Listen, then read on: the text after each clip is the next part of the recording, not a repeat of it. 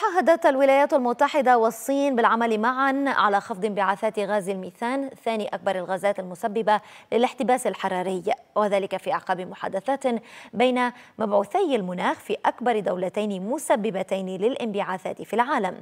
هذا والتقى مبعوث المناخ الصيني ومستشار المناخ في البيت الأبيض للمرة الأولى منذ توليهما منصبيهما ومغادرة سلفيهما اللذين آه، تعاونا من أجل التوصل إلى توافق خلال قمة كوب 28 التي احتضنتها دولة الإمارات.